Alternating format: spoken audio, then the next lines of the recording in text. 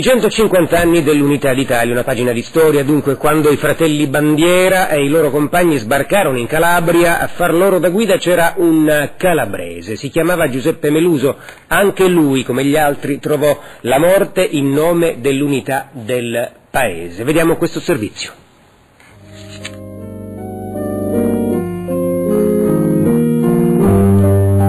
Pomeriggio del 16 giugno del 1844, alla foce del Neto, nei pressi di Crotone, si accosta alla terraferma una piccola nave dalla quale scendono non viste 21 persone.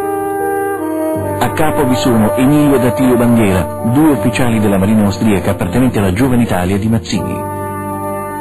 Avevano avuto notizie che in Calabria la popolazione era pronta ad insorgere contro la tirannia dei Borboni.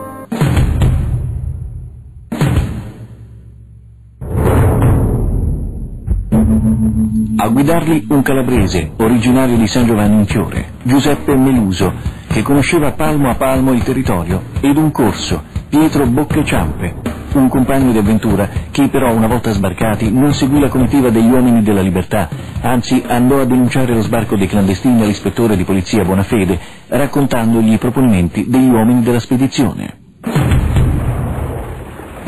Il gruppo fu intercettato verso la mezzanotte del 18 di giugno presso il valico di Pietralonga, nei pressi della sommità di Timpa del Salto, dalle guardie civiche di Belvedere Spinello. Ne seguì un violento scontro a fuoco. Gli esperiti però non registrarono perdite di uomini. Dopo il conflitto di Pietralonga, il drappello dei patrioti accelerò la marcia e verso mezzogiorno del 19 giugno giunse al casino dei Vuldoi, di proprietà dei Lopez, una famiglia di feudatari sangiovannesi. Qui i mezzadri riconobbero il Meluso e informarono di quella presenza il padrone, che immediatamente avvisò la guardia urbana di San Giovanni in Fiore, la quale si mobilitò rapidamente e, affiancata sicuramente anche da privati cittadini, si mosse verso quelli che si credevano degli aggressori e dei briganti. I sangiovanesi si appostarono sulla strada per Crotone, dopo il valico sul monte Gimmella, in località Stracola, all'inizio della Pineta Silana. Ed è qui che arrivarono verso sera, ormai stremati, i venti patrioti.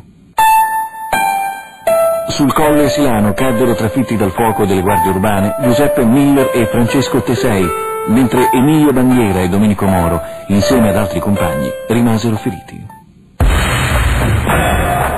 I prigionieri, portati prima a San Giovanni in Fiore e successivamente a Cosenza, furono processati e condannati a morte. Il 25 luglio nei valloni di Romito, Attilio ed Emilio Bandiera furono fucilati insieme con altri sette compagni. Si pose così fine al sogno di libertà di quegli uomini venuti da lontano, che volevano fare dell'Italia un'unica grande nazione.